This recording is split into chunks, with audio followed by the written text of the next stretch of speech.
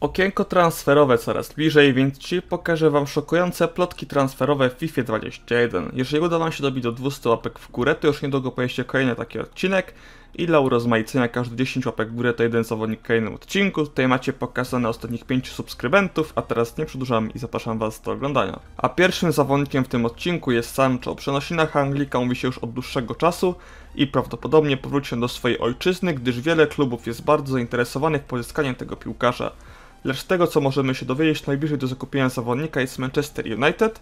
Jak wiemy, Manchester ma teraz bardzo odmodzoną kadrę i taki zawodnik byłby dużym wzmocnieniem dla tego klubu. Cena za tego zawodnika byłaby zapewne duża, lecz myślę, że dla tego klubu to nie problem. Kolejnie czas na Coutinho. Brazylijczyk już według wielu nie ma czego szukać w Barcelonie i po obecnym wypożyczeniu klub Dumy Katalonii będzie chciał go sprzedać. I takowy scenariusz jest bardzo prawdopodobny, gdyż nie oszukujemy się, zawodnik ten nigdy nie był w stanie na dłuższą metę odnaleźć się w tym klubie, i dopóki nie będzie mógł on grać jako pomocnik ofensywny w tym klubie, według mnie nic się nie zmieni. A w formacji ofensywnej na ten moment po prostu nie ma miejsca dla tego zawodnika, a klubem, który jest chętny pozyskać tego zawodnika jest Chelsea, i myślę, że w takim klubie lepiej by się odnalazł niż w Barcelonie. Saga o tym, że Pogba opuści Manchester United jest wszystkim bardzo dobrze znana.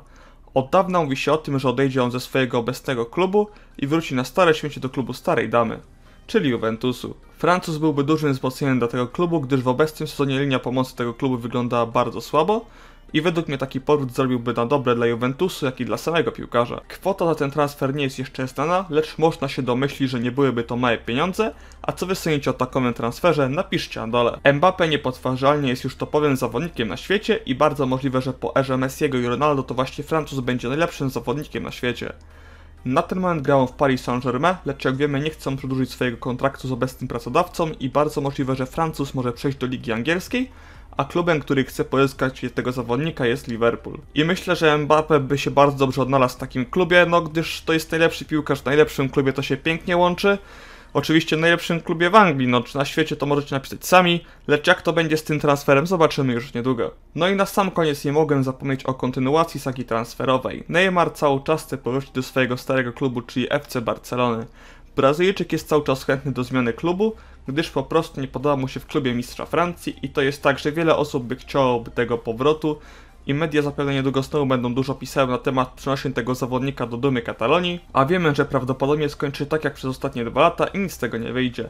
Lecz napiszcie wasze zdanie w komentarzu, czy Neymar powinien wracać do Barcony, a także czy Barcona powinna go przyjąć po tych wszystkich akcjach, które on zrobił. Więc ja dziękuję za oglądanie, mam nadzieję, że film wam się spodobał, nie zapomnijcie zostawić łapki w górę pod tym filmem, gdyż za 200 łapek pojawi się kolejny odcinek z tej serii oraz napiszcie propozycję kolejnego odcinka. Dziękuję wam jeszcze raz za oglądanie, cześć!